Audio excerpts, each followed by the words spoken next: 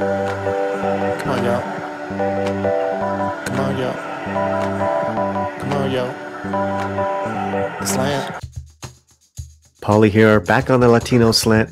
Make sure you like and comment on this video. Coming in at number six, the Spanish actor Antonio Banderas. Now, Antonio last year garnered the Best Actor nomination for his uh, Academy nominated performance in Pain and Glory. This was such an amazing film. If you haven't seen it, I highly uh, recommend you do. So, based on that alone, he makes the list, but he's busy in 2021 with The Hitman's Wife's Bodyguard. So, look out for more great stuff from Antonio Banderas, number six. Come on, y'all. Come on, y'all. Come on, y'all.